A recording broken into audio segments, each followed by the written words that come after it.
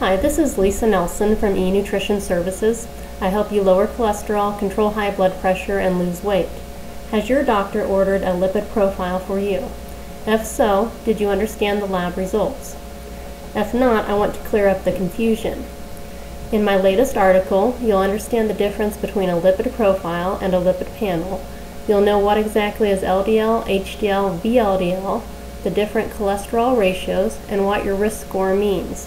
You can find this article, Make Sense of Cholesterol Ratios, Lipid Profiles, and Your Heart Disease Risk, risk Scores at www.enutritionservices.com forward slash article directory.html.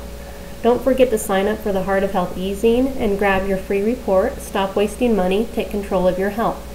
Thanks for listening. This is Lisa Nelson, your online nutrition coach.